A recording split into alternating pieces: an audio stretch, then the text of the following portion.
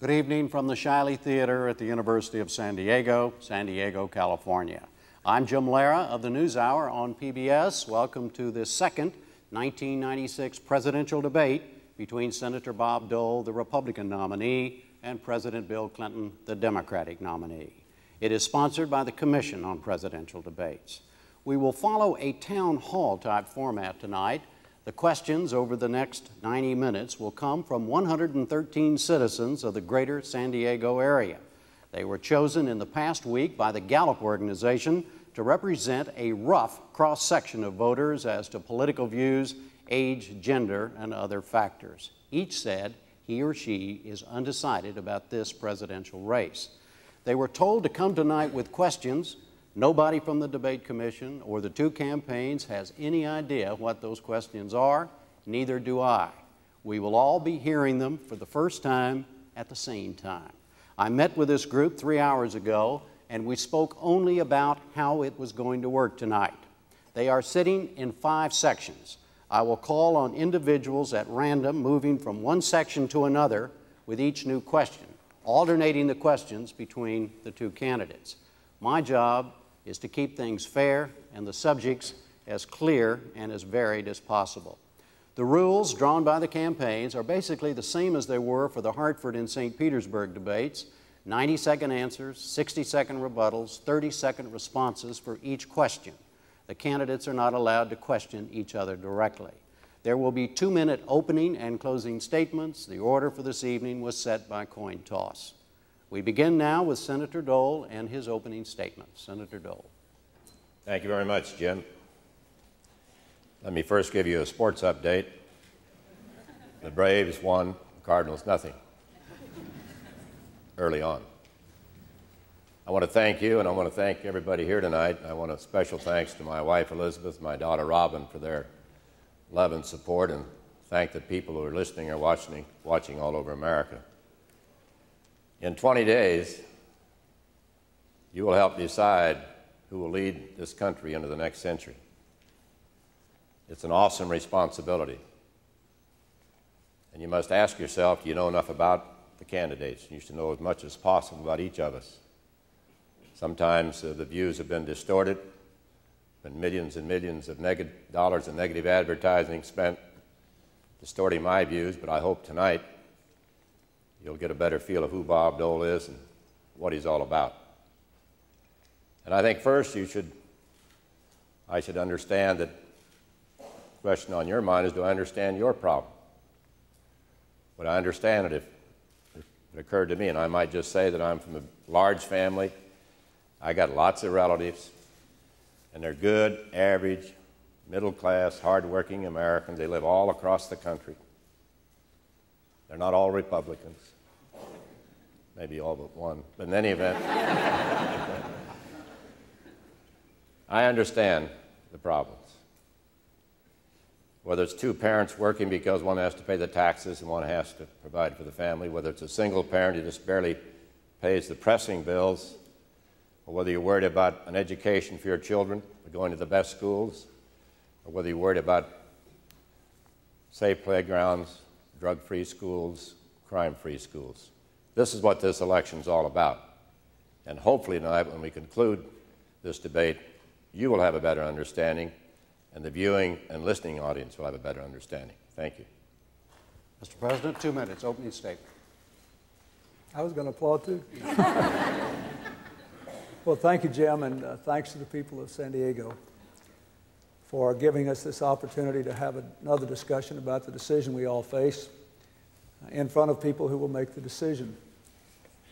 Again, I will say I'll do my best to make this a discussion of ideas and issues, not insults. What really matters is what happens to your future and what happens to our country as we stand on the brink of a new century, a time of extraordinary possibility.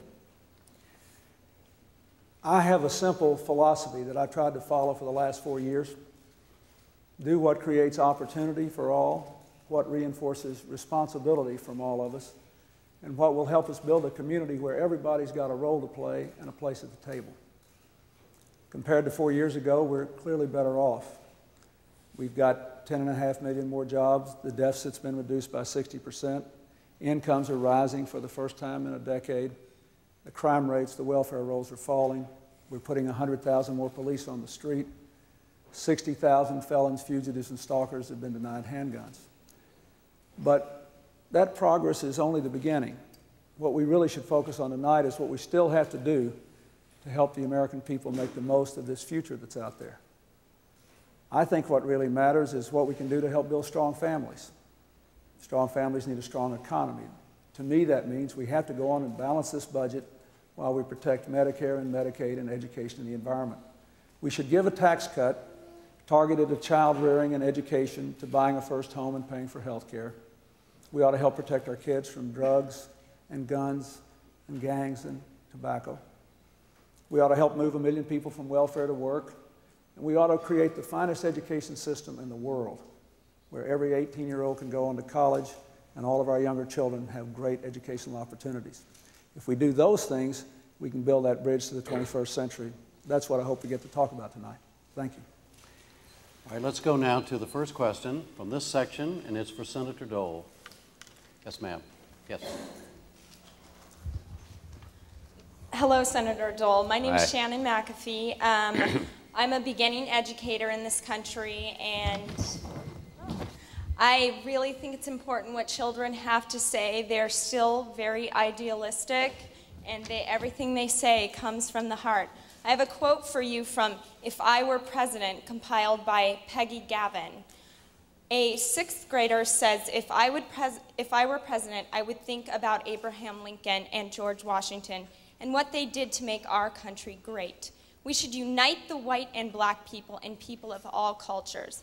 Democrats and Republicans should unite also. We should all come together and think of the best ways to solve the economic problems of our country.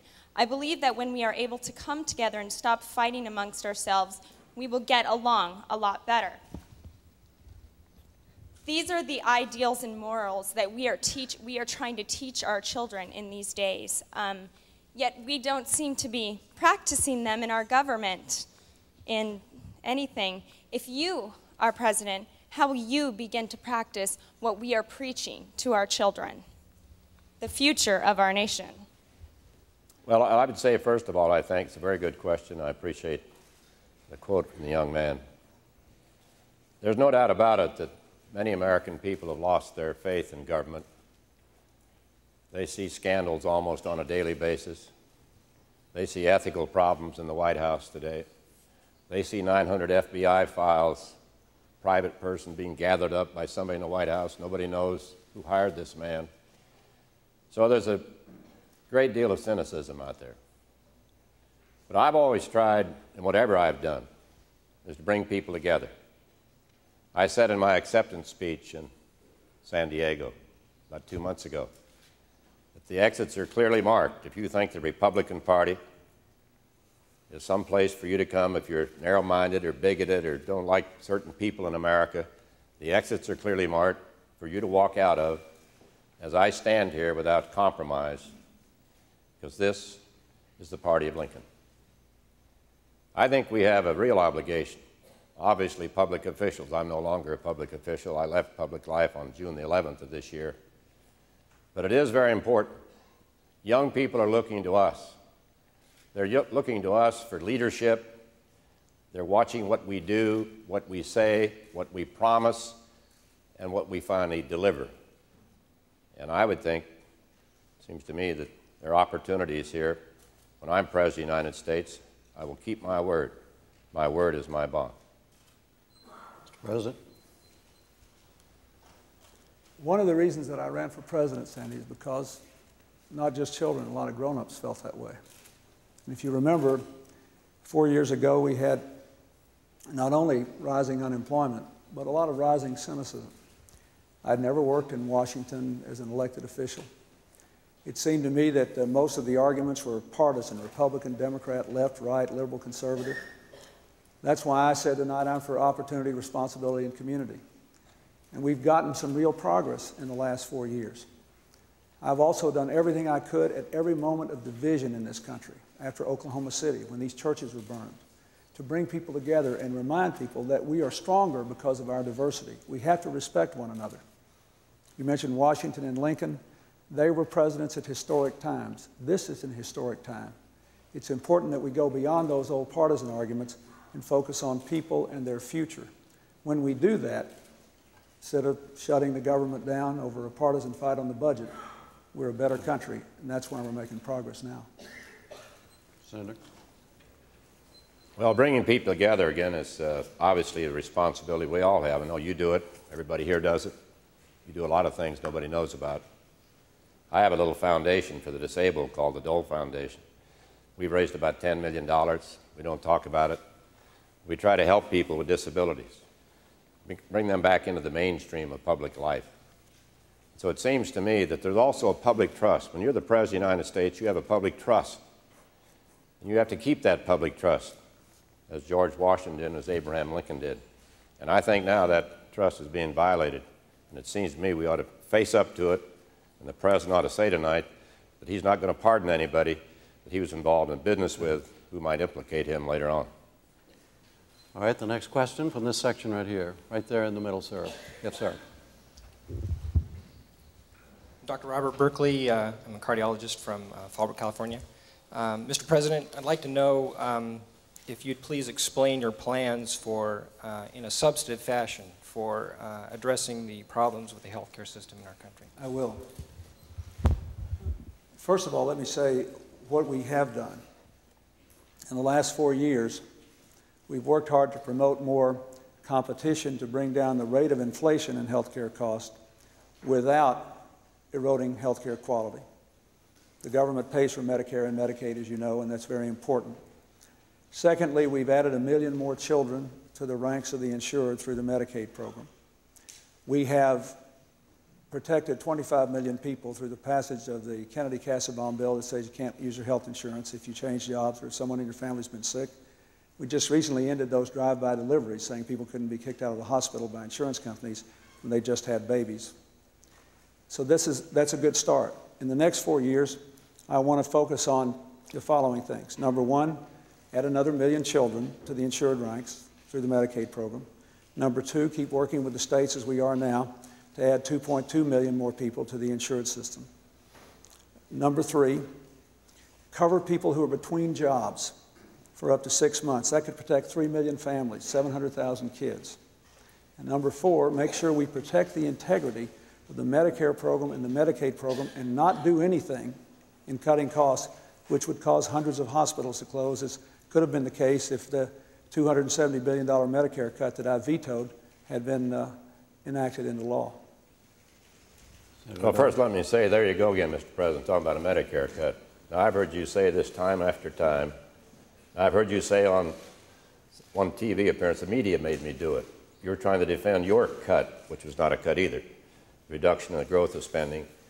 And we always had uh, at least uh, 7%. You've said publicly that is now three times the rate of inflation. We ought to cut the growth to twice the rate of inflation. It's about where we are now. So let's stop talking about cutting Medicare. In my economic plan, we increase it 39%. Don't forget what he tried to do with health care 17 new taxes, spend $1.5 trillion, 50 new bureaucracies. Can you believe that? You couldn't even been a cardiologist because he had quotas.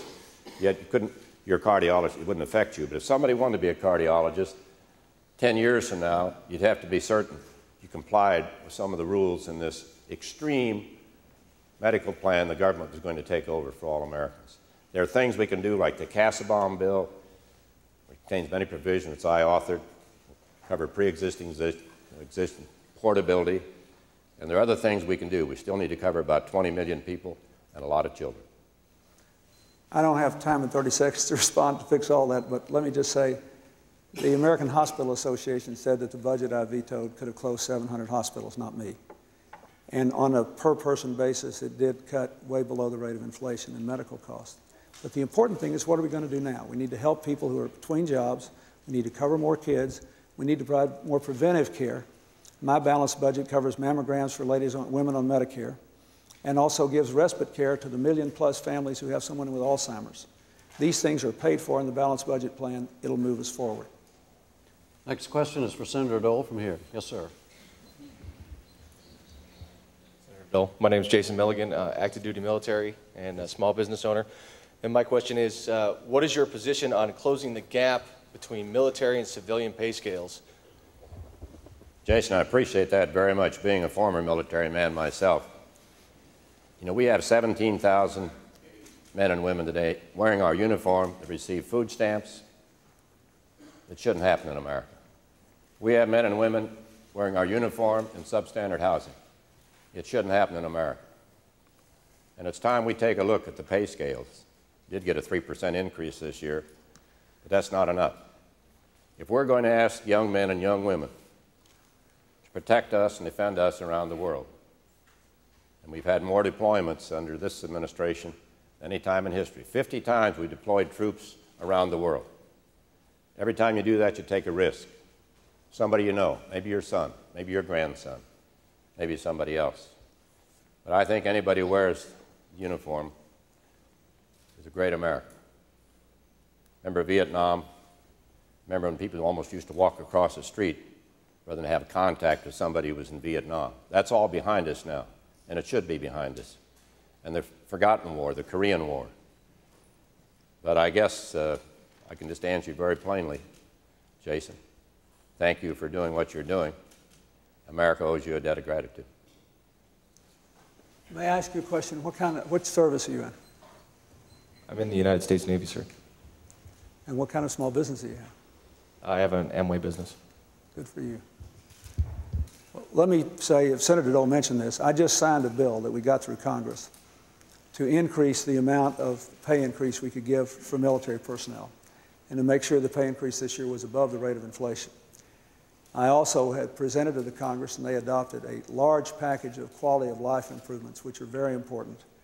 Uh, I spent a lot of time talking to military families as well as military members uh, all over the world and in bases all across the United States.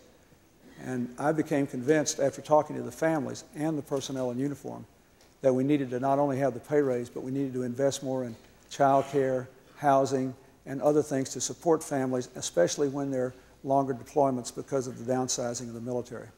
So I, we're going to do better, and we'll do better still. But this is a commitment I think that all Americans share without regard to party. Well, Jason, I, I don't disagree with anything the president said, except he waited four years to do these things. And my view is it ought to be, it'll be done on day one. We'll start working on on day one in the Dole Kemp administration. This is important. We only have 10 divisions now. We used to have 18. We had 25 fighter wings. We're down to 13. We have 536 ships. We're down to 336 ships. I mean, we, have cut defense spending too much in the first place. The president told you in 92 he would cut it 67 billion. He cut 112 billion dollars. So we're right on the edge right now. But the last thing we ought to do is make those who wear the uniform sacrifice. Next question here for President Clinton. Yes, ma'am, here on the front row. President Clinton, my name is Cecily Kelly. Um, yesterday, Yasser Arafat uh, said uh, in uh, Palestine that he thinks the key to success in the Middle East is the commitment of Americans. Would you, as president, uh, send American troops to Israel or the West Bank as peacekeepers?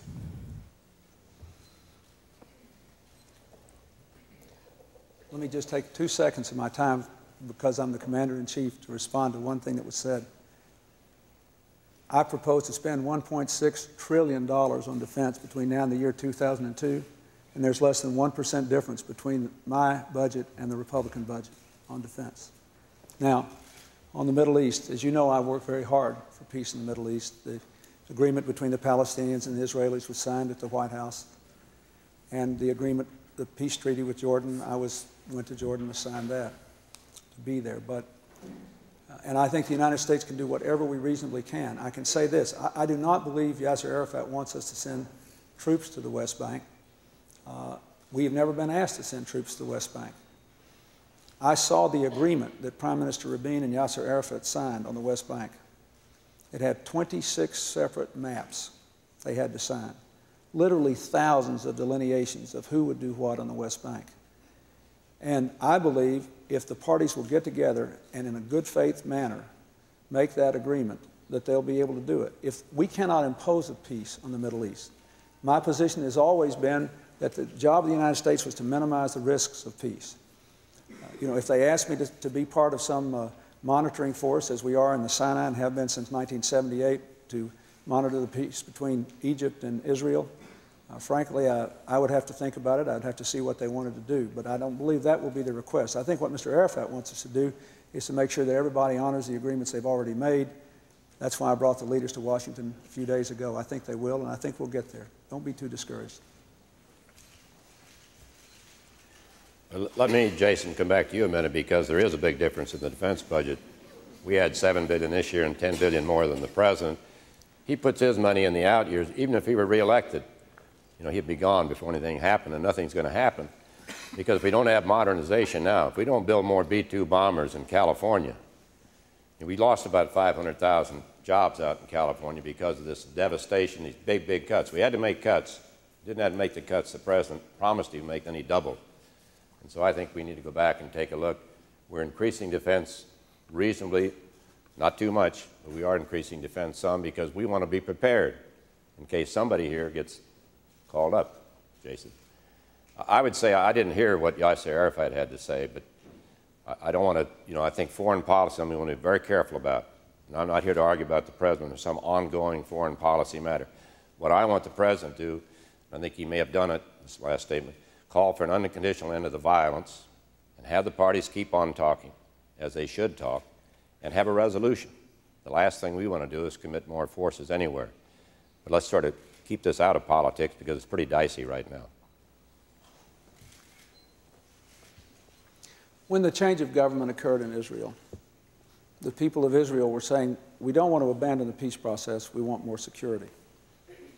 Then a lot of mutual distrust developed, a lot of things happened which maybe shouldn't have happened. When I asked Yasser Arafat and Prime Minister Netanyahu to come to Washington and got them together and they talked alone for three hours, I was convinced that they had to have a chance to make that peace. Again, I'd say if they ask us to play some reasonable role, I don't know how I would respond. It would depend entirely on what they ask us to do. But the real secret there is for them to abide by the agreements they've made and find a way to trust each other. And they're going to have to spend some time and trust each other. Prime Minister Rabin gave his life believing that that trust could be materialized, and I still think it can be. All right, next question from this section, and it is for Senator Dole. Back in the back. Yes, sir, right there. Yes, sir. Uh, Senator Dole, Oscar Delgado, Oscar? uh, ex-smoker for 30 years. uh, th- th- about 30 years ago, I was a pack plus a day man, okay? You mentioned a statement you, you said some time ago that you didn't, you didn't think nicotine was addictive. Would you care to, uh, are you still hold to that statement, or do you wish to recant or explain yourself? Oh, that, that's very easy. My record going back to 1965 in the Congress, the first vote we had was whether or not you should put a little notice on cigarettes. They may be dang- I voted for, I voted for everything since that time. In fact, 1992, we had a bill come before us that all the states had to comply or they're going to lose certain money. We sent it to the Clinton administration for implementation. They waited three and a half years. And during that period, about 3,000 young kids every day started smoking. So you add it up, that's about 3 million. Not until again 1996. I don't want anybody to smoke.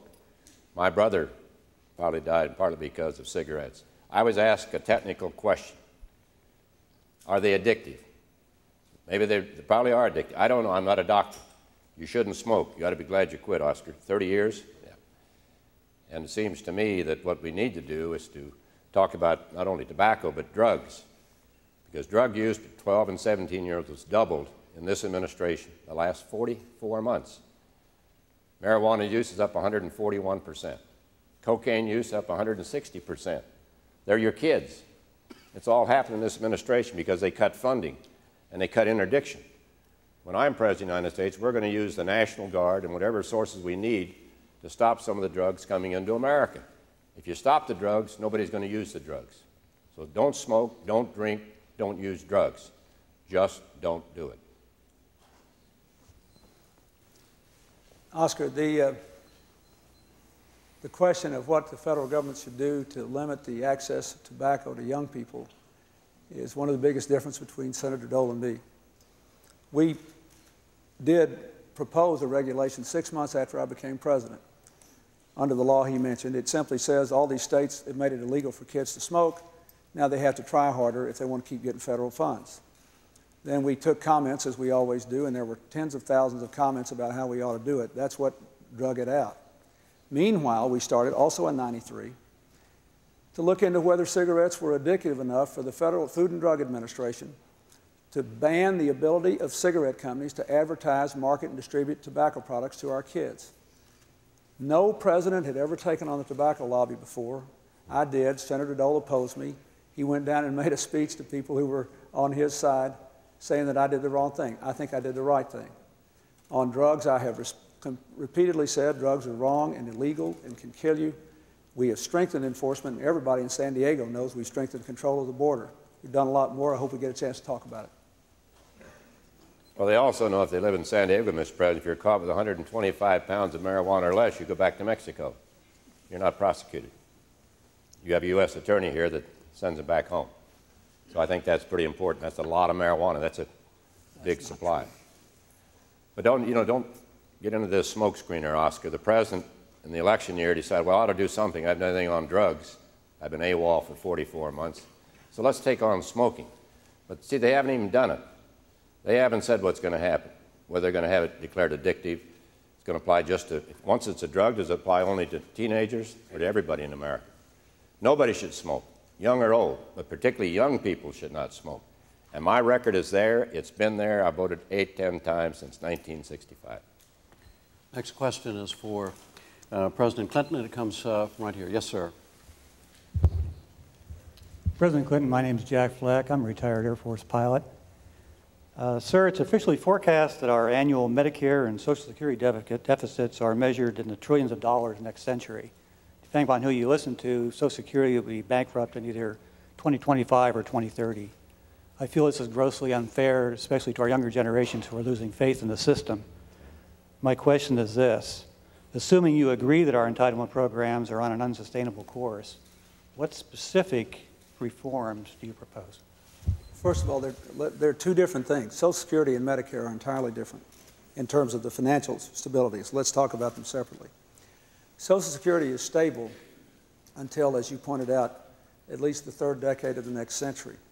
But we'd like to have a Social Security fund that has about 70 years of life instead of about 30 years of life.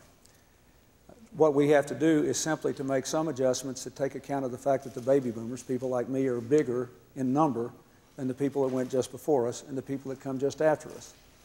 And I think what we'll plainly do is what we did in 1983 when Senator Dole served, and this is something I think he did a good job on. When he served on the Social Security Commission, and they made some modest changes in Social Security to make sure that it would be alive and well for, into the 21st century.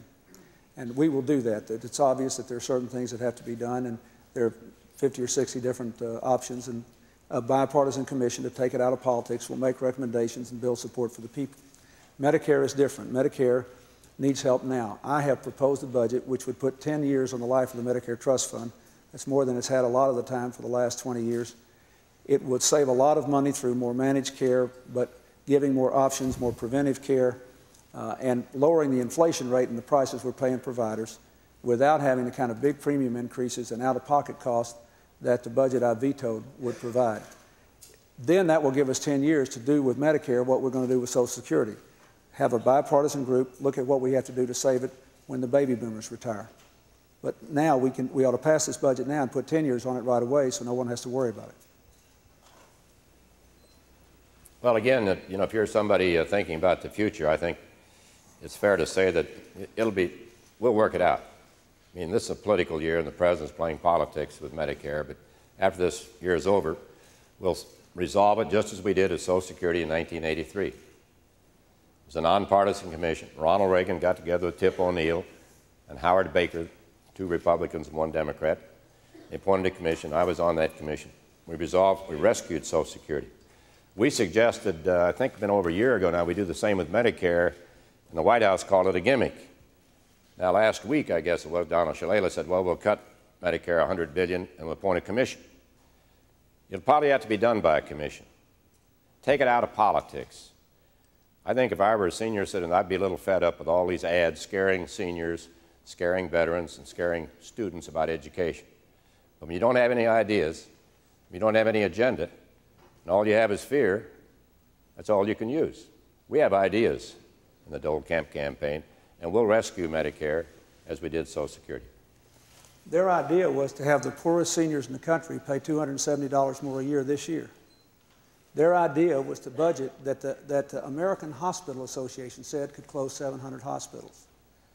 Their idea was to charge everybody more out of pocket costs in their budget that I vetoed, not in an election year, sir. I told them in early 95. Senator Dole said 30 years ago he was one of 12 people that voted against Medicare and he was proud of it. A year ago he said, I was right then, I knew it wouldn't work. American seniors have the highest life expectancy in the world. We need to reform it, not wreck it. Next question from here, and it's for uh, Senator Dole. Yes, ma'am, right here. Yes. Senator Dole, my name is Suzanne Gonzalez, and I would like to know what you are, what would be your first step in reforming welfare? Well, we've taken the first step, took it three steps. Twice we sent welfare reform to the president, and he vetoed it. On the third time we sent welfare reform to the president, he signed it, but announced he would change it next year. And the vice president said they were going to do something else through the line item veto, which I've never understood, but that's sort of inside baseball. What we need to do is make certain we try to return people to work. And I'm standing here as someone who, a long time ago, as a county attorney in Russell, Kansas, one of our jobs every month was to go through all the welfare checks and sign them. And three of those checks were my grandparents. So I know what it's like to have to look welfare head on. Obviously, some people are going to need help. This is the United States of America. You're not going to go without food, and you're not going to go without medical care. This is America. But at the same time, if you want to get off Medicare, get back in the mainstream, we're going to provide jobs. We're going to say you have a five, five year limit. You can be on welfare. You've got two years to look for a job. We provided more money for daycare in the bill that passed the Senate, was vetoed, then it came back, and the President signed pretty much the same bill. But this is an important issue. I don't think we ought to be giving welfare payments to illegal immigrants. And it puts a heavy burden on a state like, except for emergencies, puts a heavy burden on states like California. It costs California taxpayers $3 billion a year. President, President Clinton? I'll get out of your way here. It's illegal right now and has been for years for illegal immigrants to get welfare benefits. Let me say that to, this is one of the most important issues in the world to me. I started working on welfare reform in 1980 because I was sick of seeing people trapped in a system that was increasingly physically isolating them and making their kids more vulnerable to get in trouble. So I've been working on it when I was a governor for a long time. When I became president, I used the authority I had in this law to get out from under certain federal rules to help states move people to work. We've reduced the welfare rolls by 2 million already. Now I've got a plan with this new welfare reform law to work with the private sector to give employers specific tax incentives to hire people off welfare and to do some other things which will create more jobs in the private sector, at least a million to move more people from welfare to work. It's very important. And I, I hope we get a chance to talk about this more. There's not a more important issue. I, I still remember a woman that I met 10 years ago who said she wanted to get off welfare so her kids could tell, give an answer when they say, What does your mother do for a job? I met that woman again. She's got four kids. One's got a good job, one's studying to be a doctor, one's in technical school, one's an honor student in high school. I want to make more people like that woman, Lillie Harden. So I've got a plan to do it, and it's just beginning. Well, another thing we can do, we talk about growth. We've got a great economic package, which I hope we'll discuss later. Across the board tax cut, child credits, $500 per child under 18, reduce the capital gains rate, create more jobs and opportunities for people on and off welfare. We have other provisions, less litigation. The trial lawyers, big supporters of the president. The trial lawyers, of course, they like lawsuits, so every time they have a bill that they want vetoed, the president vetoes it for them. We've got to understand in America that we've got to have growth, create more jobs and more opportunities in the private sector. The president takes credit for all these people off welfare. The governors did that. Federal government doesn't do that. And the government doesn't create jobs, they're created in the private sector. This section, question? Yes, ma'am, on the back row. This is for the president. Mr. President, My name is Pamela Johnson, and I'm a landlord. My question is Does your party have any future plans to reduce the capital gains tax, especially for retired Americans? First of all, we have a big plan to reduce the capital gains tax when people sell their homes. Part of my tax package, which is paid for in my balanced budget plan, would exempt up to half a million dollars in gains from people when they sell their homes, which I think is the biggest capital gains benefit we could give to most ordinary Americans. We also have uh, capital gains now for people that invest in new small businesses and hold the investment for five years. That was part of our other economic plan. And these are things I think that will go a long way toward helping America build a stronger economy and a better tax system. I think the most important thing to emphasize, though, is that we also have to help people in other ways to build a strong economy, and we can't have any tax cut that's not paid for. One of the big differences between Senator Dole and myself is that I've told you how I'm going to pay for every penny of the tax cuts I recommend. We've worked hard to bring this deficit down, and that's helped people in the real estate business because the interest rates are lower. We've got home ownership at a 15 year high. We've got this country going in the right direction. So we can have a tax cut, but my priority would be to help the families who need it with child rearing and education and buying a first time home and helping for health care costs. So, from your business, helping in buying the first time home, exempting the capital gains on the, on the sale of a home would be the most important things that you ask about. Thank you, Pamela. Well, Pamela, what, what the president didn't tell you that all his tax cuts expire at the year 2000, but all these increases go on forever. That's the liberal approach. You know, give you a little tax cut, give you a couple of years, but and make the tax increases go on forever. So the net tax increase in his plans somewhere between 60 and 80 billion dollars.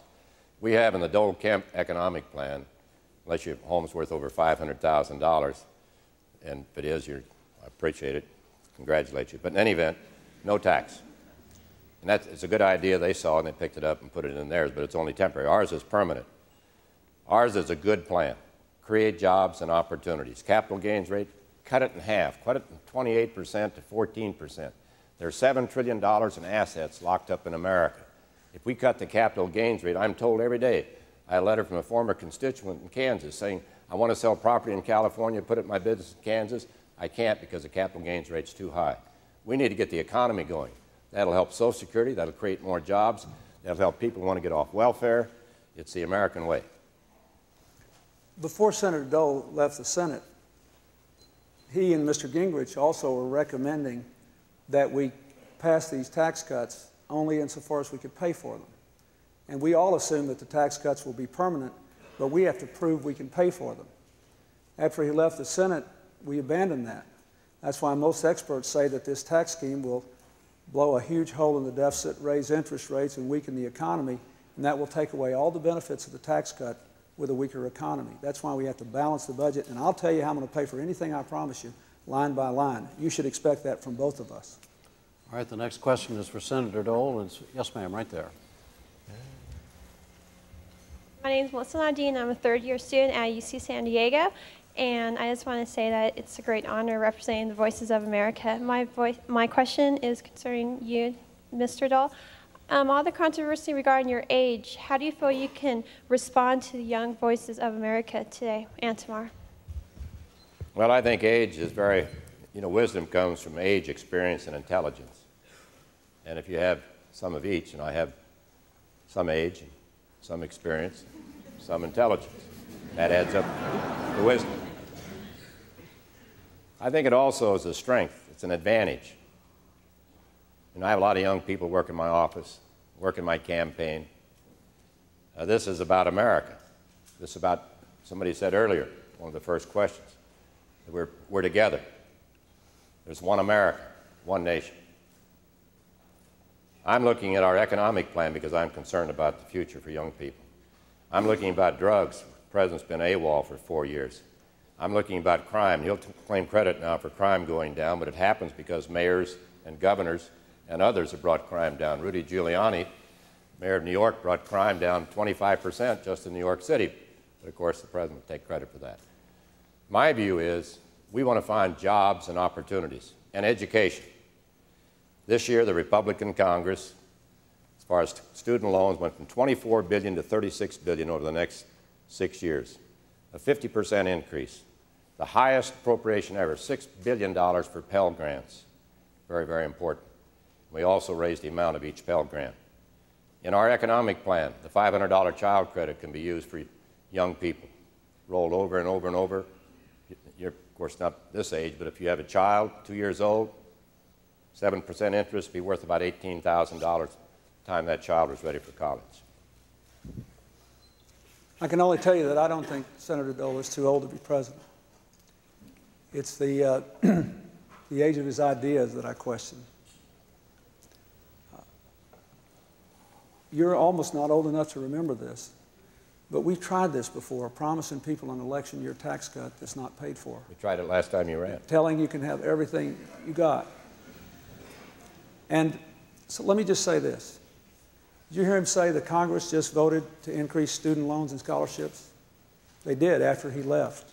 The last budget he led cut Pell Grants, cut student loans. I vetoed it when they shut the government down. My plan would give students a dollar for dollar reduction for the cost of a typical community college tuition, a $10,000 deduction a year for the cost of college tuition, would let families save in an IRA and withdraw tax free to pay for the cost of education, and it's all paid for. My whole administration is about your future. It's about what the 21st century is going to be like for you. And I hope you'll look at the ideas in it. Thank you. Well, when you don't have any ideas, I guess you say the other person's ideas are old. As I said earlier, they don't have any ideas. Their ideas is raise taxes and spend more money. That's the liberal philosophy. that's what you like, you've got a perfect candidate. President Clinton came to California in 1992. He said the centerpiece in my first four years is going to be a middle class tax cut. Now, if all you got that tax cut, congratulations, because you got a big tax increase. You got a $265 billion tax increase. And he stands here and says politicians who make promises like that ought to be ignored. Well, he made the promise. I keep my word, and you'll have a tax cut. It'll help you in whatever you're going to do the next few years. Thank you. Next question is for President Clinton, and it's from the, yes, ma'am. Yes.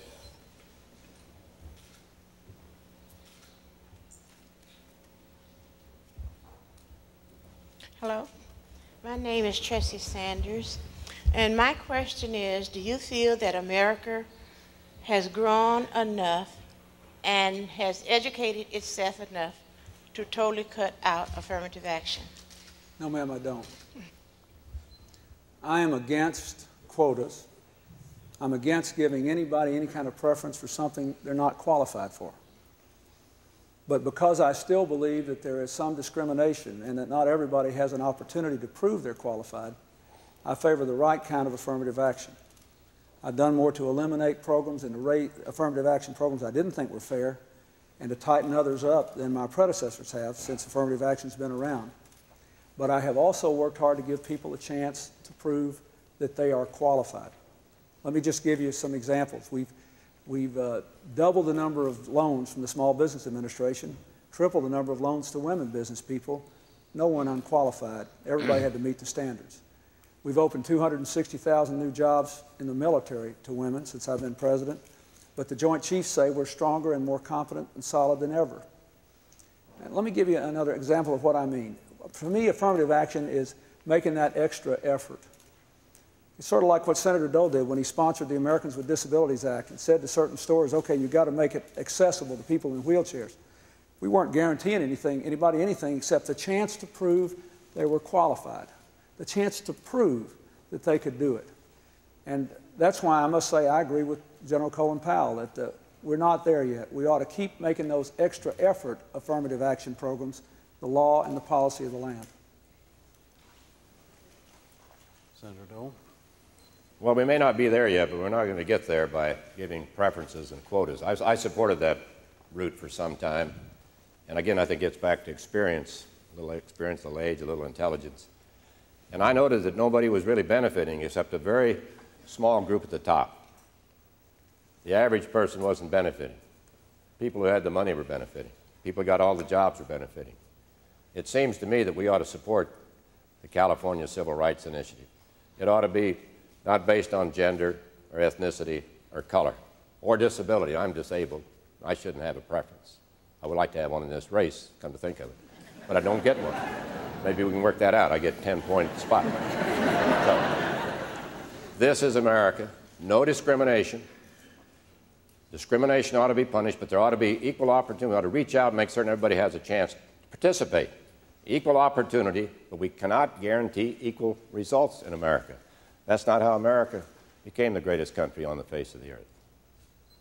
I, mean, I have never supported quotas. I've always been against them. I don't favor equal results. But I do favor making sure everybody has a chance to prove they're competent. The reason I have opposed that initiative is because I'm afraid it will end those extra effort programs. Again, I say, think of the Americans with Disabilities Act. Make an effort to put a ramp up there so someone in a wheelchair can get up. You don't guarantee that they get the job. You guarantee they have a chance to prove they're competent. And as I said, this is not a partisan thing with me. General Powell, Colin Powell said the same thing. He fears that the initiative would take away the extra effort programs. No preferences to unqualified people, no quotas, but don't give up on making an extra effort to ensure everybody has a chance to prove they're qualified. All right, the next question is for Senator Dole, and it comes from this section right here. The back row there in the blue shirt. Yes, sir. My name's Tim David. I'm a mechanical engineer. Senator Dole, how do you reduce taxes and balance the budget? Oh, I'm glad you asked. So What's your I. first name? I am too. Tim? I first want to say the President didn't quite give you all the stuff on uh, on quotas because the Justice Department entered what we call the Piscataway case up in New Jersey. It's pretty clear that was a quota case. And just because one teacher was white and one teacher was black and they had the same qualifications, you know, they decided who would stay there. It shouldn't be that way. Now, the President can say, well, he wants to amend it, not end it. There are 168 federal programs that allow quotas. He ended one.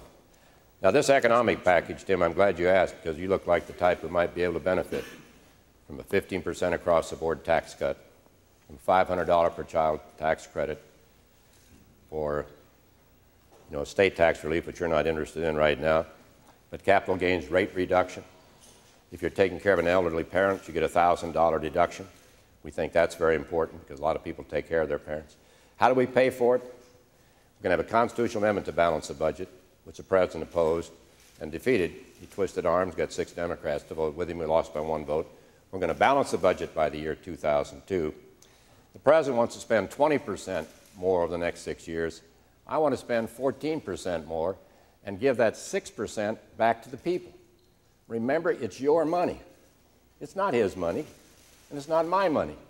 It's your money. And you shouldn't have to apologize for wanting to keep all you can of it, but he ought to apologize for wanting to take more and more. He wants to give you sort of a government tax cut that really doesn't mean anything.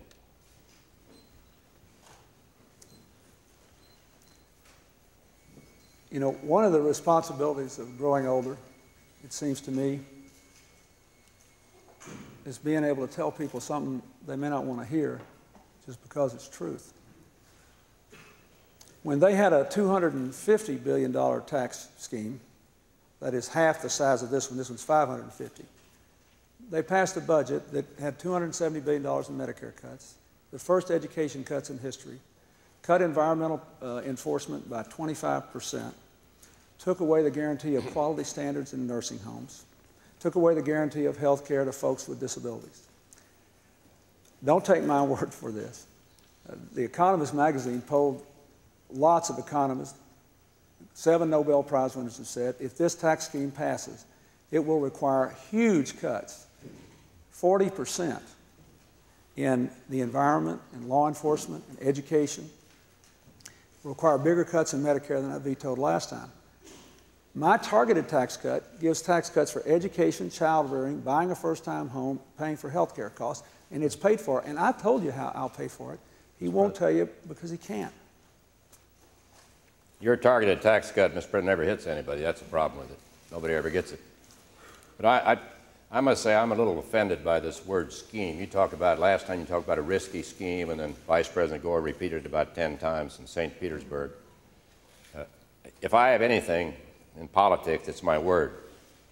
My colleagues, Democrats and Republicans, will tell you that Bob Dole kept his word. I'm going to keep my word to you. I'm going to keep my word to the American people. We're going to tax, cut taxes and balance the budget.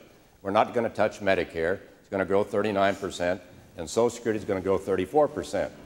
Now, the president doesn't have any ideas, so he's out trashing ours. This isn't going to blow a hole in the deficit. He promised you a tax cut in 1992. And if you got one, sir, you ought to vote for him. Next question's for the president. Yes, sir, right there. White shirt. My name is Dwayne Burns. I'm a martial arts instructor and a father. Um, Mr. President, could you outline any plans you have to expand the Family Leave Act? Thank you. Well, first, let me say that uh, I signed the Family Leave Act. It was my very first bill. And I'm very proud of it because it symbolizes what I think we ought to be doing. I don't take credit for all the good things that have happened in America, but I take credit for what I've tried to do to work with others to make good things happen. The most important good things that happen in America happen in families. Just about every family I know, main concern is how am I going to succeed at work and still do right by my children? Family and medical leave has let 12 million families take a little time off for the birth of a child or a family illness without losing their job. I'd like to see it expanded in two ways. I'd like to say you can also take a little time off without losing your job to go to a regular parent teacher conference or to go to a regular doctor's appointment with a family member. I'd also like to see the overtime laws change so that we could have some more flex time so that at the discretion of the worker, the worker, if you earn overtime, you could decide whether you want that time to be taken in cash or in time with your family if you've got a family problem. I never go anywhere, it seems like, where I don't meet somebody who's benefited from the family leave law. In Longview, Texas, the other day, I met a woman who was almost in tears because she'd been able to keep her job while spending time with her husband who had cancer. One of the people who's here with me today met a woman in an airport saying that her son just was able to be present at the birth of his child because of the family leave law. So, yes, I think it should be expanded. We have to help people succeed at home and at work. Well, 88% of the people the president claims are 11 million are already covered. And only 5%, keep in mind, only 5% of the employers were even affected by the Family Leave Act. We had a better idea. We didn't win, but we had a better idea. Now we have a majority, we get a president. That was a tax credit to the employer. Instead of the federal government reaching out, we had a tax credit to pick up some of the cost, because if you have to hire a replacement worker, that's a cost. This is the way it ought to work give more power back to the states and back to the people, back to the taxpayers, not always the long arm of the federal government. But keep in mind, this bill covers 5% of the employers. 95% of the employers and all those employees they employ are not covered in this act. And according to Investors Daily, which I read just a couple of days ago, 88% of the people he claims credit for were already covered in collective bargaining agreements or other agreements. We had family leave in our office, I'm certain. I see my friend Senator Mitchell, he had family leave. I work every day with people. I spend a lot of time in hospitals. I know what it's like to be in a hospital. Sure, we want family leave, but there's a better way to do it. I only have 30 seconds. I can't fix the statistics. It covers the majority of the workforce. Employers of under 50 are exempted the bill originally covered employers at 25 and more, but because of opposition, we went up to 50. Senator Dole led the opposition to it. He filibustered it. He said it was a mistake. He said it would hurt the economy. We've had record numbers of new small businesses and 10.5 million jobs. It didn't hurt the economy. He still believes it's a mistake. I believe it was right. You can decide which of us you think are right. It's up to you. Next question for Senator Dole. Say, yes, ma'am. Hi, my name's Bridget Giannotti, and I'm a wife and mother of two sons from Carlsbad. And my question for you, Senator Dole, is as the wife of a San Diego business owner, I see one of our biggest problems in the U.S. does not manufacture enough of our own products. How would you help this problem out? Well, right, we've lost 357,000 manufacturing jobs. And the Bureau of Labor Statistics say today, said today that they made a mistake. It's probably going to be a much, much higher figure. So we're talking about all these new jobs, we better wait and see what the results are. We're going to do that with a more aggressive trade policy. We're going to do that with an economic package. We're going to do that with regulatory reform. You know, regulations cost the average family, right here, Democrat or Republican, about $7,000 a year. 7,000, it's like a tax. Put a lot of people out of business. I met a lady in Colorado Springs about seven weeks ago now. She had a small business with 63 employees. She finally gave it up. Why? Because of paperwork and regulation. Congress passed the Paperwork Reduction Act. The President exempts the IRS, which creates three fourths of paperwork. We're going to have regulatory, we're going to have litigation reform. You know, I fell off a platform out in California, Chico, a while back. Before I hit the ground, my cell phone rang, and this trial lawyer says, I think we got a case here. You know, we got to stop some of these frivolous lawsuits. They're putting people out of business, men and women. Get the economy going, cut the capital gains rate, create more jobs and opportunities for everybody in America. That's what we will do. And my word is good. I keep my promises. I don't break my promises after the election. And I don't make new promises on an election year. We're going to get it done. We're going to grow some of these jobs in America because we need to get it. They're going the wrong way. Let's look at the facts. We lost a lot of manufacturing jobs in the 12 years before I became president. We've gained manufacturing jobs since I've been president. We've negotiated over 200 separate trade agreements. Uh, let's just take California. In California, we made $37 billion worth of telecommunications equipment eligible for exports for the first time. We're selling everything from, from telephones to CDs to rice in Japan. We're selling American automobiles in Japan now. I visited a Chrysler dealership in Japan. We're number one in automobile manufacturing, production, and sales around the world again for the first time since the 1970s. Why? Because we've had tough, aggressive trade policies, and because we got interest rates down and we had a good, stable economic policy, because we reduced the deficit four years in a row for the first time in the 20th century that a president's done that in all four years. And that's why I don't want to see us blow a big hole in the deficit with a tax program we can't pay for. So your interest rates will go up and you'll have to pay back in higher interest rates what you allegedly will get in a tax cut. So I say keep working on expanding the markets. More than half of these 10.5 million new jobs are in higher wage areas, and we'll have more manufacturing and more sales at home and around the world. Well, you may think the biggest employer in America is General Motors, but I got news for you. It's manpower services, hiring people temporarily who've lost their jobs and they go to work for 30 days or 60 days. That's a good economy? I don't think so. They're setting new records this year. We have the worst economy in a sense. We have the slowest growth, about 2.5%. The president inherited a growth of over 5%. We don't have the S&L crisis anymore. Republicans have cut $53 billion in spending. That's why the budget can good, look, look good. It didn't look too good the first two years when we had a Democratic president and a Democratic Congress. Next question is for President Clinton. Yes, sir. I'm Bob Goldfarb. I'm a travel agent. And can you please explain your policy on the Employment Non-Discrimination Act that would have prohibited discrimination, would have prohibited people from being fired from their jobs simply for being gay or lesbian? I'm for it.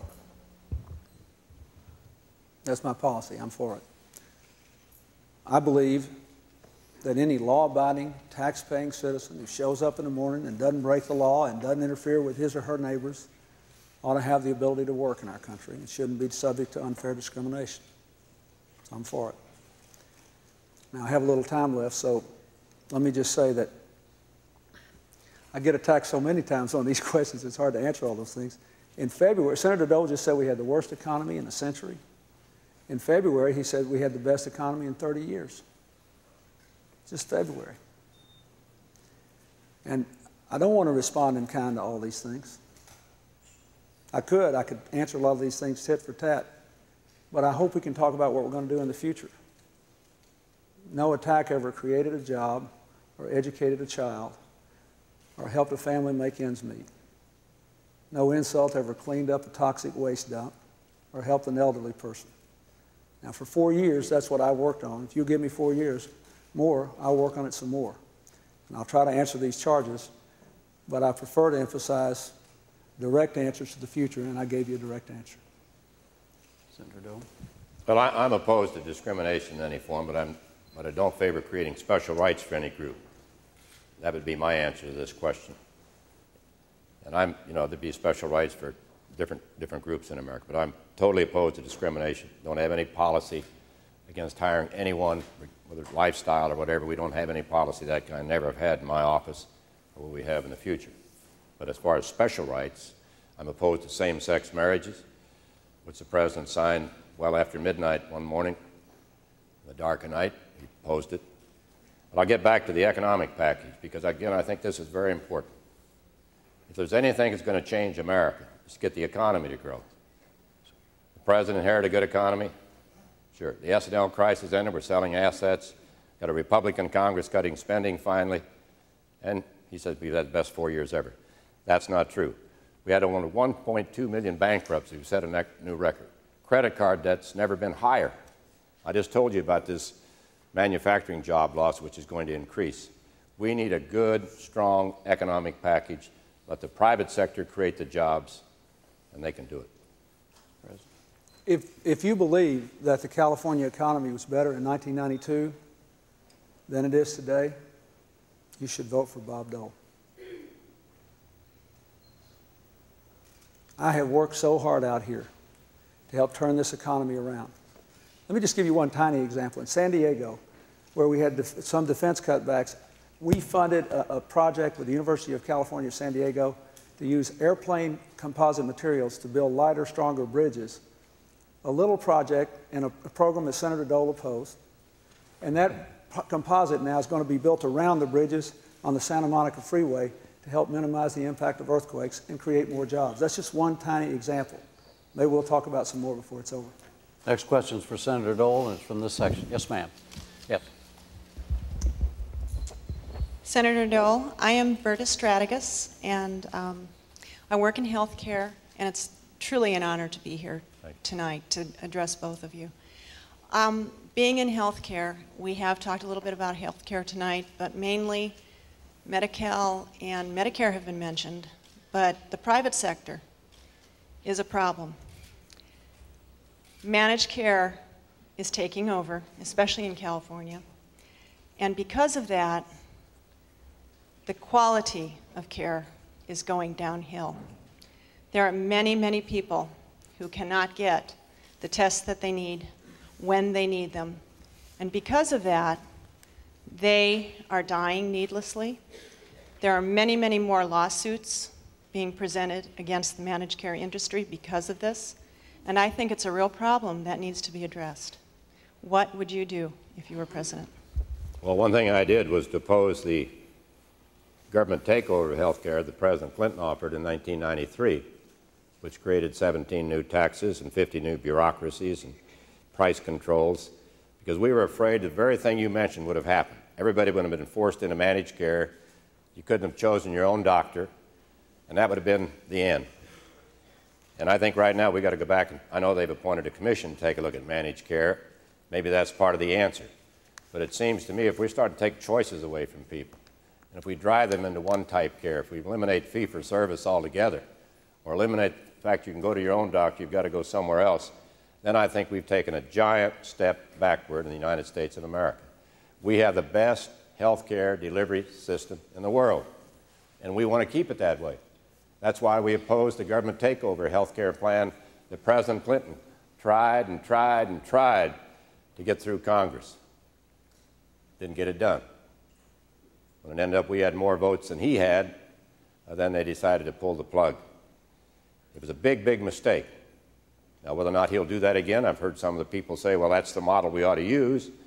And if he's reelected, maybe he'll come back and try it again. I hope not. I hope not in both cases. But it does seem to me that you've raised a very important point that needs to be addressed. We're going to have to watch it, We're going to take a look at all the managed care going on in California, or we're going to end up losing our best care that we have in the world. I'm just curious, how many of you are under managed care plans? Raise your hand if you're in a managed care plan. Young people here. How many of you like it? Well, two. One of the things that I tried to do was to make sure that uh, everybody in the country who was under a managed care plan should at least have three choices of plans and would have the right to get out without penalty every year. But that's not a government takeover. That's like the family medical leave law. It just tries to set the rules of the game. I'm strongly in favor of a federal bill to repeal the, any gag rules on providers. In other words, I believe that doctors should not be able to be kicked out of managed care plans just because they tell the patients what they need and what more expensive care options might be. If we're saving money and managing resources better, that's a good thing. If we're saving money and depriving people of care, that's a bad thing. A good place to start is to say no managed care provider can gag a doctor and kick the doctor out of the managed care plan for the doctor telling the patient, you need a, a more expensive test, you need a more expensive procedure, your health requires it. Senator Dole? Well, I don't have any quarrel with that. I think that would help. But I think what we want to avoid is falling back into this nationalized health care system that President Clinton wanted to give us in 1993. That isn't a liberal idea, I've never heard one. 17 new taxes, price controls, 50 new bureaucracies. We'd had that trouble all over America. We need to deal with managed care. It not only happened in California, it's happening in other states that we visit too. It's a national problem, not just a state problem. The next question is for President Clinton and, and this section. Yes, ma'am. Yes, you're right. I'd sort of like to, uh, Colleen O'Connor, I teach history and political science at San Diego Mesa College right up the road here. And I'd like to tee off from the original question by another teacher and speak for those people that aren't here tonight. 63% of the American people are not participating, uh, that are eligible to vote, not even participating in the process. Several parties can't even get into the debate. The Green Party, the Reform Party, the Natural Law Party, all of these people have basically opted out of what we're still participating in. And if we, in fact, are going to bring the country back together and be all faces around the table, the new American family, uh, what do you see as something the president can do uh, to begin that process to bring them back in? First of all, I think it's important to make voting more accessible. That's why I strongly supported the motor voter law. There was a big story, I think, in USA Today about the millions of people who've now registered because of it. Secondly, I think we need to look at making the elections more accessible. You know, several states now are letting people vote over three weeks. A lot of people are busy, and it's hard for them to, to just get there and vote. The third thing I think we need is more forums like this, which is one of the reasons I have so strongly supported campaign finance reform. Because if you want to cut the cost of campaigns, you have to open the airwaves. Because what drives the cost of campaign are the cost of advertising on television, radio, newspaper, mass mailing. And if you open the airways to more things like this, you see, it's not just you that are participating here. For every one of you who stood up here and asked a question tonight, I promise you, there's 100,000 Americans that said, I wish I could have asked that question.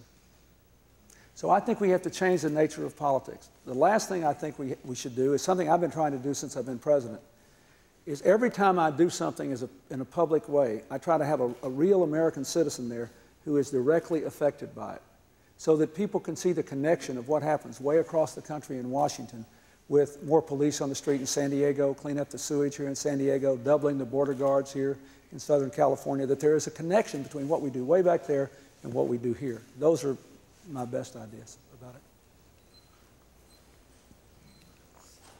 Well, I don't know of any perfect solution. I've been in politics for some time, and I, I worry about the people who don't vote. And I wonder if it's our fault, the candidate's fault. People say, I don't care.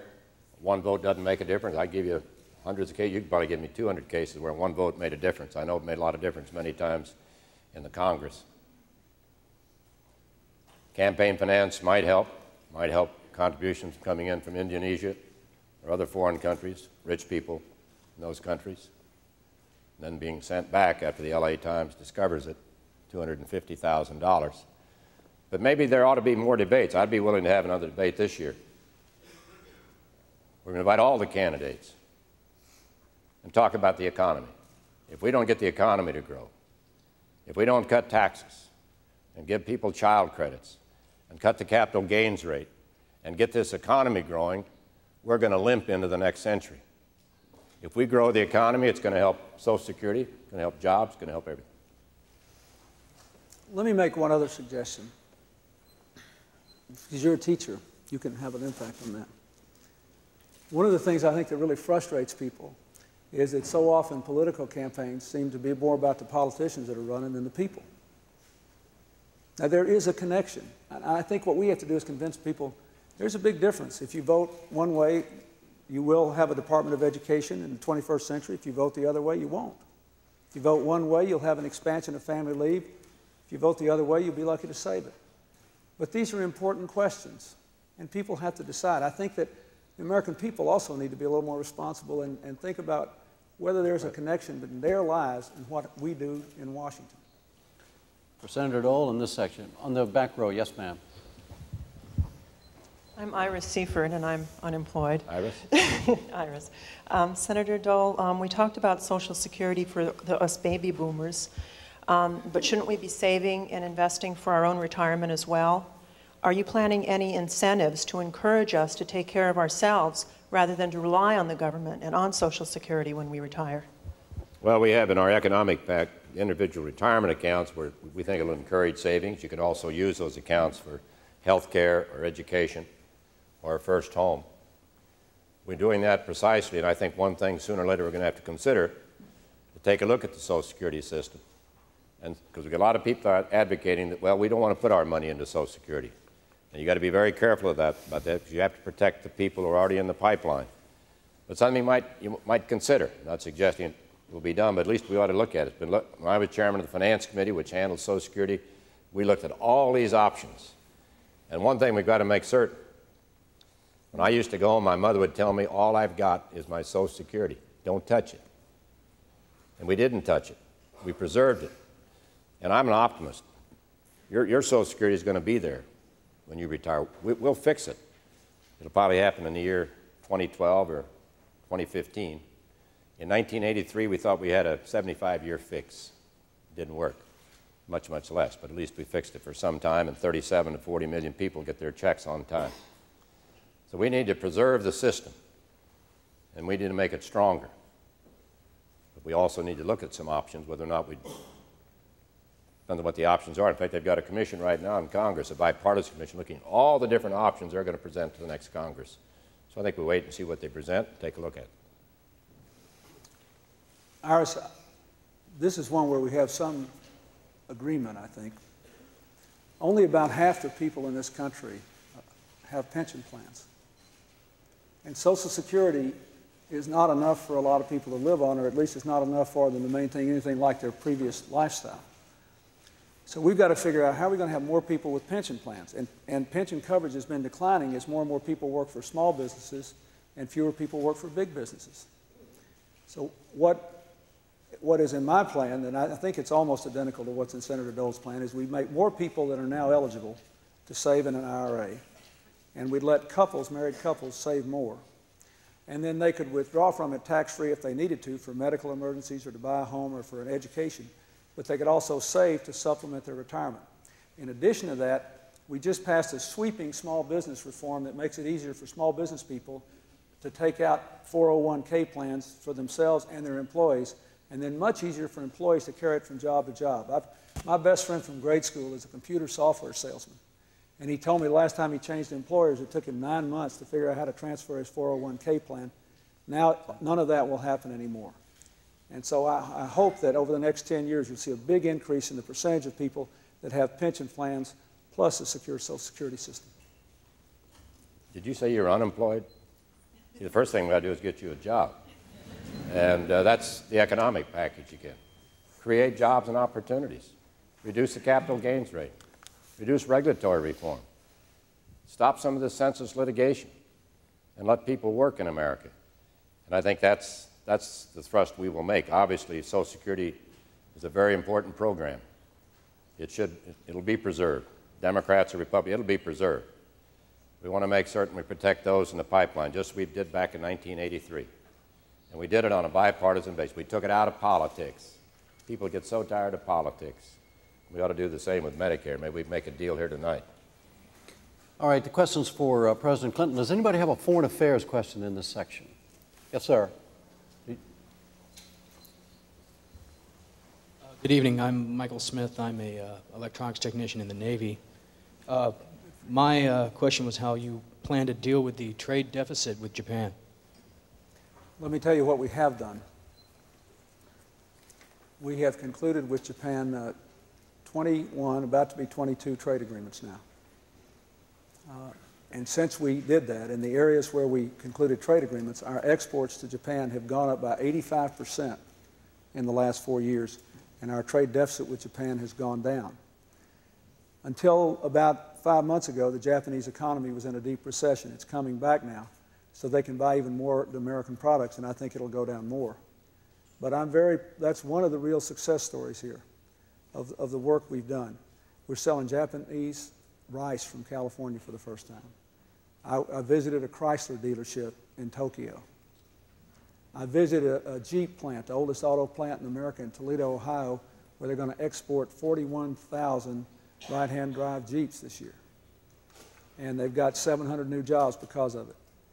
There is no easy way to do this. When you're dealing with an economy that's traditionally been more closed and one that's traditionally been more open, you just have to gut it out issue by issue by issue. We just uh, we agreed in principle on an insurance agreement, and we're working on three or four other areas now. But the, the way you have to do it is make sure you're competitive. We're the most competitive country in the world now, and then just fight to open those markets and go try to make the sale. And that's what our trade ambassador, our commerce secretary, all the other people in our administration have tried to do.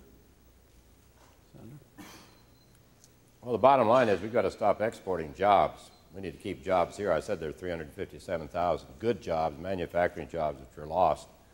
And I assume some of those, because of our trading partners, we didn't have access to their markets. We ought to insist on access. If we don't have access to their markets the same way they have access to our markets, we all say, wait a minute, that's enough. Time out. When you give us access, we'll give you access. And it's very hard to get into the Japanese market, as everybody knows. They want to get into our market. They sell a lot of automobiles here, create a lot of jobs, those who sell exports, and it's very important to the economy, but I think we want to make certain. I supported the President's trade policy, but we've got to be more aggressive. Once you have a policy, then you've got to go out and be aggressive and enforce that policy. There are American jobs that are being lost. This is what Ross Perot complains about. And I'd say to the Reform Party, take a look at the Republican Party. We're the Reform Party, and we're going to make things better. One of the things we're going to do is stop exporting jobs in America. Let me say again, we've had over 200 separate trade agreements in the last four years. By far the largest number in American history, not just the big ones you've read about, but a lot of smaller ones. And now what we have to do is to focus on those things we're real good at and make sure we're getting a fair deal. We just had a, a pretty serious dispute with China because they were copying our CDs and costing thousands of jobs in places like California. So we had that. We said, you know, if you want to keep doing business and sell your products over here, you're going to have to quit pirating our CDs. And they agreed to do a number of things and to let us verify that they'd done it. That I think is going to make the problem much better. But there is not a simple, easy answer. You just have to work on this day in and day out, every month, every year, every issue, to make sure that we have not only free trade but fair trade. I'm proud that we're better off on that than we were four years ago. All right, the next question is for Senator Dole, and it's in the second. Yes, sir. Ron Kite, Minister. Hi, Rod. Uh, this great nation has been established by the founding fathers who possessed a very strong Christian beliefs and godly principles. If elected President of the United States, what could you do to return this nation to these basic principles? And also, do you feel that uh, the President, the office of the President, has the responsibility to set the role example to inspire our young people. Well, no doubt about it, our founding fathers had a great deal of wisdom. And in addition to what you mentioned, they also were concerned about this all powerful central government in Washington, D.C., that would, in fact, confiscate your property. So I carry around in my pocket, I can't pull it out, I'd violate the rules, a copy of the 10th Amendment, which says that we ought to return power to the states and power to the people, people here. You ought to make more decisions. You ought to, you ought to make honor, duty, and country. That's what America's all about. Certainly the President of the United States, in the highest office in the world, the most important office in the world, has a responsibility to young people, as we talked about earlier, to everyone, by example. And when it comes to public ethics, he has a responsibility. When you have 30 some in your administration who either left or being investigated or in jail or whatever, then you've got an ethical problem. It's public ethics. I'm not talking about private, we're talking about public ethics. When you have 900 files gathered up by some guy who who was a bouncer in a bar and hired a security officer to collect files in Watergate. I know a person who went to jail for looking at one file, one FBI file. There are 900 sequestered in the White House. 900 people like you. Why should they be rifling through your files? So the president has a great responsibility. And it's one that I understand and certainly carry out.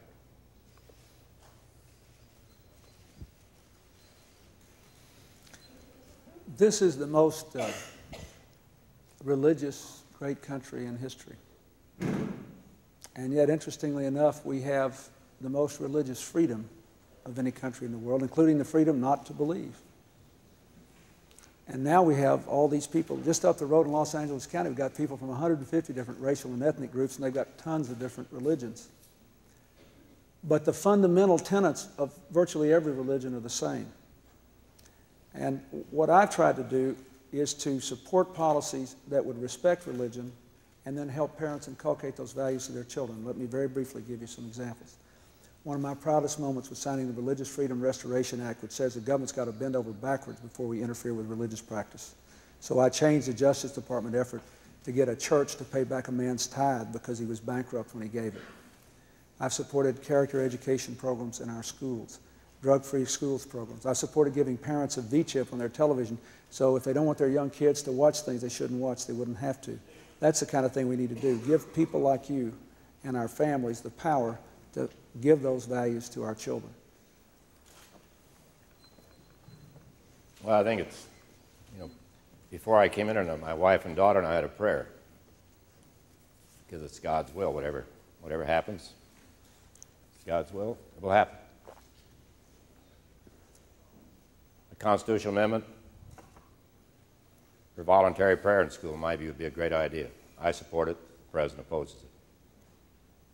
I mean, it seems to me the president, whoever the president may be, this is one of his highest responsibilities. People look to the President of the United States more than any other person in America. And that's the way it's always been, and that's the way it always will be. All right, this is our last question. It goes to President Clinton, and it's from this section. Yes, ma'am. My name is Yvette Doobie, and I too am a minister. I'm with the Universal Fellowship of Metropolitan Community Churches. President Clinton, uh, perhaps you can help me with something tonight. Um, I've heard Mr. Dole say several times, all of us together. And uh, when he was asked if he would support equal rights in employment for gay and lesbian people, you said that you favored that. And he said that he did not believe in special rights. And I thought the question was, equal rights for all people, and I don't understand why people are using the term special rights when the question is equal rights. Could you help me in understanding that? I want to answer the question, but let me say one other thing.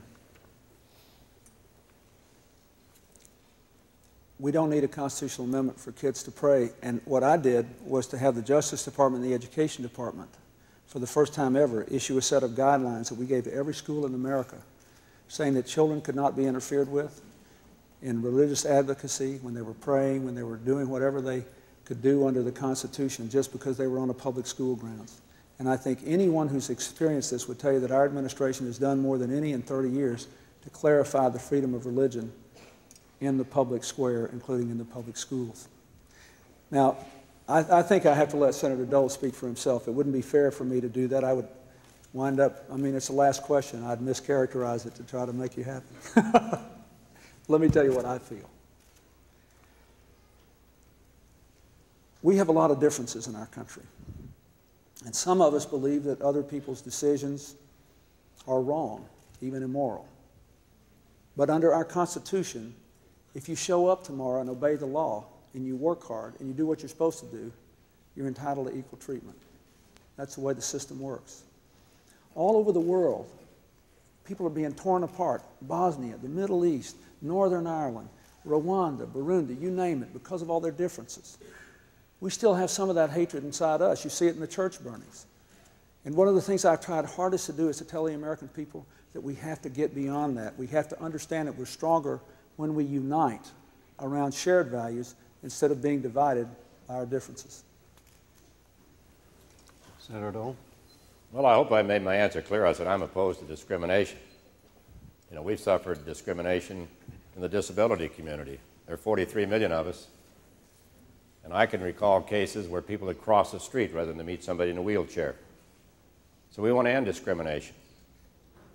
I think that answers itself.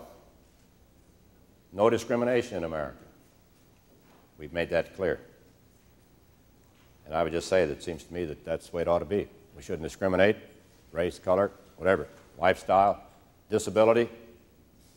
This is America. We're all proud of it. But we're not there yet. What we need is good, strong leadership going into the next century. I'm sorry we didn't have foreign policy question because just this week, Secretary Christopher said, well, we really didn't know much the first couple of years about foreign policy. Now, that was quite an admission. It underscores what I had to say in the Hartford debate that there is really no foreign policy in this administration. It's sort of ad hoc. Just whatever comes up, we'll deal with it. Unfortunately, we didn't have more questions on that. Let me say again there is no more important responsibility for the President than to say if you believe in the Constitution, the Bill of Rights, and the Declaration of Independence, that's all we need to know. And you can be part of our America and you can walk across that bridge to the 21st century with us. And we are not well served when we attack each other in a kind of an ad hominem way. It doesn't create jobs, it doesn't educate children, it doesn't solve problems. We need to be disagreeing on ideas honestly and talking about the future. The future will be the greatest time in this country's history if we can beat this division that is bedeviling the whole rest of the world. All right, now we go to the closing statements. Senator Dole, your first two minutes, sir. Well, let me thank everybody here at the university, and Jim, thank you. All the people who may still be watching or viewing. This is what it's all about. It's not about me, it's not about President Clinton. It's about the process. It's about selecting a president of the United States. So we have our differences. We should have our differences. Mention other parties, they have their differences. We all agreed it'd be a pretty dull place. We should have more debates. Maybe we'll have another debate on, on the economy. But I would just say this.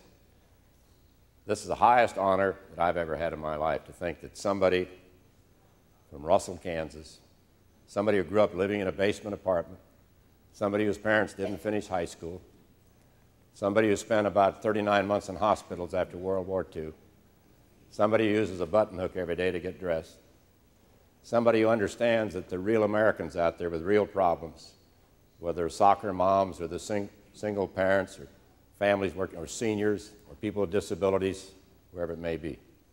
But there's some very fundamental differences in this campaign. President Clinton opposes term limits. President Clinton opposes constitutional amendment to balance the budget. President Clinton opposes voluntary prayer amendment. He opposes an amendment to protect the flag of the United States of America. People give their lives. A couple of servicemen here, they sacrifice. They give everything for America. We ought to protect the American flag with a constitutional amendment. But beyond that, we need to address the economy. And I would just save my time running out here, it's a very proud moment for me. And what I want the voters to do is to make a decision. And I want them to be proud of their vote in the years ahead.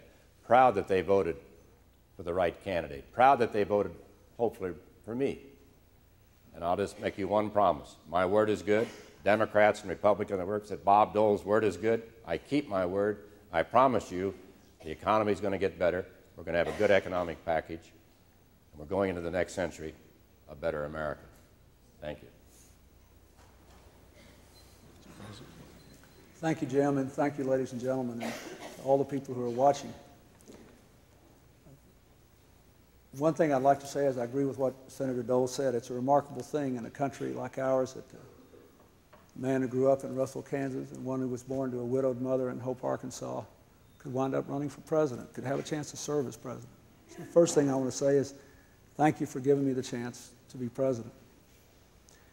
This election is about two different visions about how we should go into the 21st century. Would we be better off, as I believe, working together to give each other the tools we need to make the most of our God given potential? Or are we better off saying, you're on your own. Would we be better off building that bridge to the future together so we can all walk across it, or saying, you can get across yourself? If you don't agree, leave this room with anything else tonight, and if the people watching us don't leave with anything else, I hope you'll leave with this. This is a real important election. The world is changing dramatically in how we work and how we live, how we relate to each other. Huge changes. And the decisions we make will have enormous practical consequences. So we've talked about our responsibility tonight. I want to talk about your responsibility and your responsibility. Your responsibility is to show up on November the 5th because you're going to decide whether we're going to balance the budget now but protect Medicare, Medicaid, education, and the environment. You'll decide whether we're going to keep fighting crime with the Brady Bill, the assault weapons, and finish putting those 100,000 police. Whether we're going to move a million people from welfare to work. Whether we're going to give our families more protection for their kids against drugs and tobacco and gangs and guns. Whether we're going to give our children world class education where every eight year old can read, every 12 year old can log in on the internet, every 18 year old go to college. If we do those things, we'll build that bridge to the 21st century, and the greatest country in history will be even greater. Thank you. Thank you, Senator. Thank you, Mr. President. This concludes, the, this is the last of the three 1996 presidential and vice presidential debates.